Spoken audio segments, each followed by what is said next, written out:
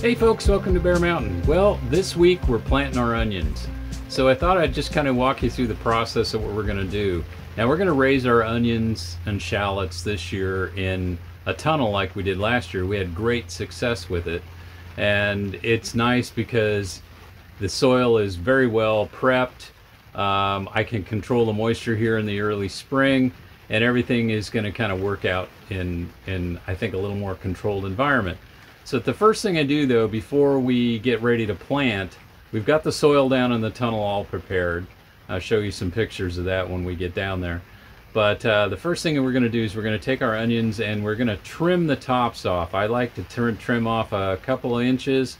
I guess it amounts to maybe 25% or so of the height of it. And it kind of tends to then focus the growth anew coming out of the center of the actual onion itself and get us a little more robust uh, onion growing faster with less floppy leaves and things of that nature. So let me show you what I'm doing. Okay, so here's the group that I've already trimmed. And what I've done is I've taken these guys down to about, uh, oh, I took maybe about two inches off the top of these guys. So they're probably an overall height of somewhere around five inch, uh, maybe a little less, but not terribly much than that. And what you can see is left here is, is these guys are a lot standing up straight, so got rid of the floppiness of it. Kind of like when you look at this group over here that I haven't trimmed yet, you can kind of tell that I've got types of uh, leaves here that are going to be, you know, kind of floppy. So I'm going to basically, you know, take off like about the top two to three inches on this and kind of make it even. This group back here is uh, Patterson, uh, our long-term storage onions. And um, the, these groups in here are also long-term storage. We've got our reds, which are Cabernet, and then uh, again, Patterson and Bridger are two types here. And this tray here that I just trimmed, these were the shallots. So I do the same thing to the shallots. I trim them down to get them into size. Um, there are, in each one of these cells, they were multi-sown. So although you see some kind of the earlier fronds that are a little bit, you know, they're kind of desiccating away, what's left is mostly the the um, you know good strong growth. And each one of these cells has maybe uh, three to uh, four onions in them or shallots in them so the trimmings here you can use these trimmings for salads or things like that or cooking uh, it's almost like a you know same thing as like with chives. And so it's actually uh, pretty good stuff to eat. So anyway uh, that's what I do first. I'll take these guys down after I get them all trimmed.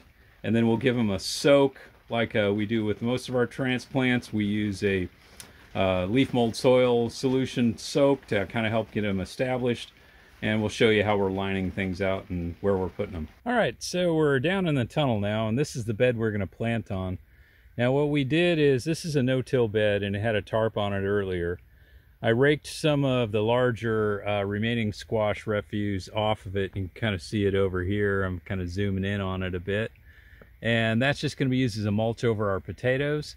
It's all pretty dried stuff. So it was just a matter of kind of getting the refuse off this part of the bed and putting it over there to take care of that. So this bed is for the onions is going to be approximately about 60 feet long, maybe a little bit longer. And what we're going to do is we're going to plant in three rows. So uh, the idea here is that we're going to have enough room if we need to to be able to, to use like a collinear hoe if we have any weed problems.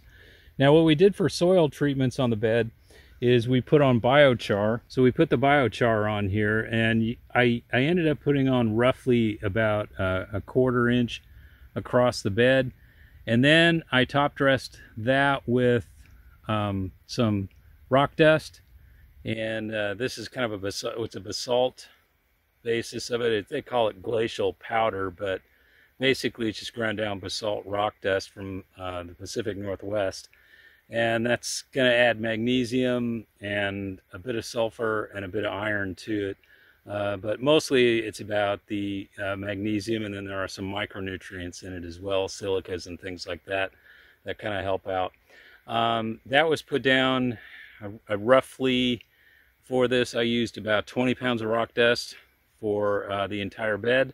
So fairly heavy application, but all I had to do then was just water it into the soil and it's really fine and you can't even see uh, what's left of it. So planting wise, we're going to be using our dibbler.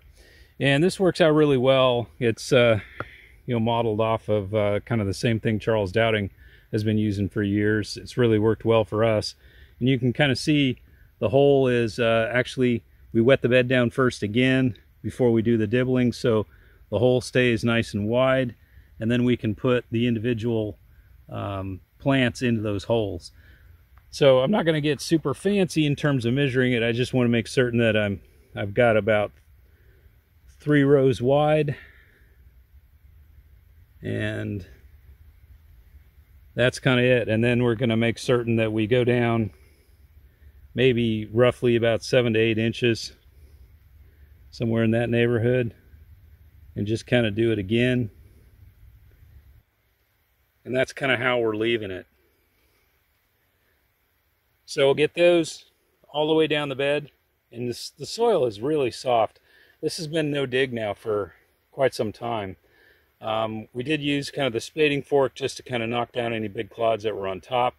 But uh, really nothing you know, in terms of cracking the soil or anything like that. Um, I just kind of use the rake and my spading fork just to make certain that the, the top is kind of smooth.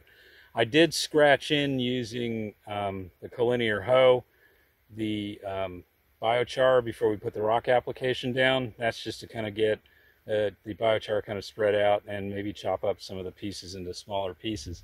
And that that's it, you know. So from a surface preparation standpoint, took me about maybe an hour total time to uh, you know get the tarps off, round them up, and then then do um, the applications of biochar, scratch it in, put the rock dust down, water it in, and then we were good to go. Okay, so what this is right here, this kind of a soupy mix of stuff is uh, leaf mold soil that we harvested last fall. And I took a good handful of it and I've kind of mixed it in here and let it be sit for a minute or two. It's in uh, water, so this is what we're going to uh, immerse our seedlings in to kind of give them a good soak to, to do two things. We get uh, good inoculation of good biology on the roots, plus uh, really helps slip the plants out of the six packs we did get a question about that a while back about you know getting plants out because lots of people have trouble with plastic six packs of the plants actually kind of sticking in there and if you really give them a good soak like for three or four minutes until you can see that that the moisture is soaked all the way through the plug um, they slip out really easy when you just kind of gently turn them over give them a little tap on the bottom and and the plants come out so our trays which we have over here. We're, this is our first couple of trays. I got five trays total. Um, we're going to try to match things up, make sure I plant all the Bridger onions with the Bridgers and the Pattersons with the Pattersons and then the reds and then the shallots uh, to make sure that we've got them kind of like together. So particularly for the yellow onions, I like to kind of keep them uh, separate and that way I can kind of get an idea of how long you know one lasts in storage what I've found is is that the Bridgers actually last longer for us than the Pattersons in storage, uh, about an additional month. So that's kind of an interesting note. I'm going to see if that holds up again this year. Okay, so what I wanted to show you was I slipped one out and you can kind of see that the roots are nice and white. I mean, here's another example of, uh, you know, basically if you just kind of give it a little squeeze at the bottom and the material usually slides right out. So you can kind of see the roots are okay. So I'm just going to plant it in this one right here. I don't want to be too deep. We don't want to be too deep with these. We just want to get it right around the surface of it. And that's it. So then it's just a matter of getting these guys in the various holes and get them all done. I got room on this bed to plant. It looks like after I got my holes dug out, I can get uh, probably almost four of my five trays in here. So I'll just end up putting my extra in my my outdoor garden and but uh, we should have plenty in here because these guys are, are multiple um, onions to to a cell block three to four and it really gives you a nice you know onion of about you know slicing size.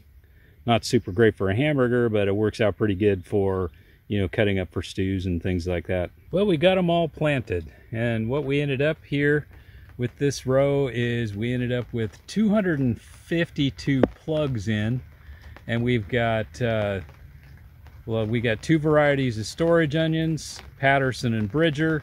We've got Cabernet, which is our red slicer for hamburgers. Actually stores pretty well itself too. We got, got good storage out of that. And then we have shallots, Ambition, and Matador in the back, uh, accounting for maybe like the last uh, 24 plugs. So we've got quite a few onions. And if we look at each of these cells, they've got at least probably, um, I can zoom in here a little bit. We've got at least three onions in each one. So if I'm looking at this between the shallots and, and the onions, I'm probably going to end up with somewhere around 750, 700 to 750 onions.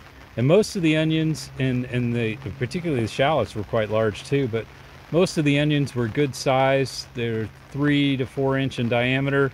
And uh, so it, will get us enough onions uh, and, and shallots to carry us through till the next year. We're still working on last year's crop.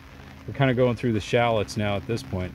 One thing I did find is that the shallots stored really well. Um, we've had no kind of softness or rot in them yet at this point, and uh, we're already near the end of March. So these guys were all started around the 7th of January, and we're just getting them in the ground today, and today is March 22nd. So um, they got a good three months to grow. They'll bulb up, and we'll typically our harvest is in uh, mid to late July. So it all kind of works out pretty good. So the last step I'm going to do is just water them in. You can kind of see I got the hose laid out here and uh, put the drip lines back down. And then we're uh, done with this project. So one of the things in spring that, that we do is, is we always try to get as much early starting as we can in the tunnel. Uh, we've always done that with flowers and we're trying to move that same way with the veg. We did plant our potatoes. I think I did a video on that last week. And they're not up yet, but uh, they probably will be shortly. And when I look around, some of the things that we've got going are the kale and the um, greens that we planted last winter are kind of nearing their end. So we're going to be looking at final harvest on those guys. And then we'll be able to have those spots open up for our next round of greens. We still got some uh, root crops we want to kind of put in. Want to get some early Hakurei turnips. Those are those beautiful little white turnips. They're very sweet, great in salads. And uh, probably within the next few weeks, we can start planting stuff outside. I do have about um, 12 six packs left of onions that I'm going to plant outside in our upper garden. Um, they'll they'll just mature probably a little later, a couple of weeks later than than they will here down in the tunnel. And what I found is the ones in the garden, for whatever reason, I've always, I've got bigger onions down here in the tunnel than I did in the garden, which I'm not really sure I understand why exactly, but, but kind of plant them on the same technique, but it just seems like they kind of take, uh, I don't know, they just, they just don't get as big up there. So it must be something missing in my soil. Anyway, that's it for this week. Got more projects coming up as we go. Been making a lot of biochar too, so be sure to check out those videos if you guys are getting rid of your prunings from wintertime. It's a great way to get a soil amendment, so be sure to check those out. We'll talk with you later. Stay safe. Catch you on the next video. Bye-bye.